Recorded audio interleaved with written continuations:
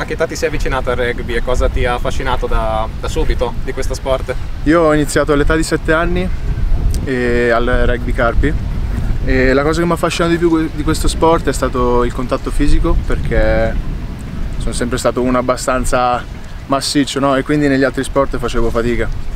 E allora grazie a mio zio che mi ha consigliato questo sport eh, mi ci sono avvicinato e mi sono innamorato subito. Hai detto bene perché 194 cm di altezza per 128 kg e tu infatti sei pilone, pilone destro, un ruolo che ti piace? Assolutamente sì.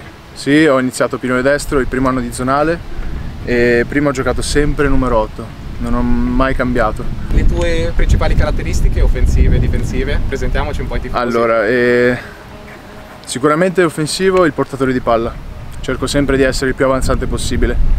E ringrazio anche il fisico per aiutarmi in questo, mentre difensive il placcaggio. Mi piace adesso la tendenza che c'è nei piloni perché è importante che sia forte in mischia ma devono essere forti anche nel gioco aperto.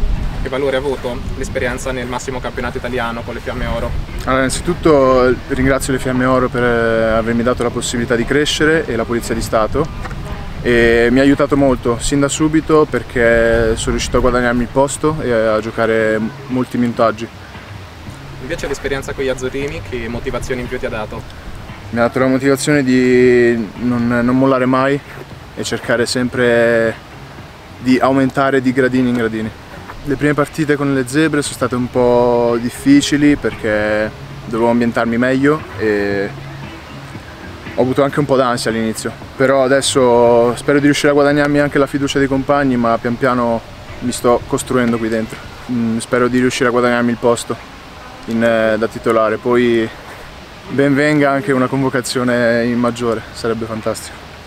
Un consiglio ci chiede appunto per diventare un rugbyista professionista come te? Non mollare mai, non farsi mai prendere dalla, dalla pressione e dall'agitazione ma è soprattutto di non mollare mai, allenarsi giorno giorno, giorno per giorno, tutti i giorni.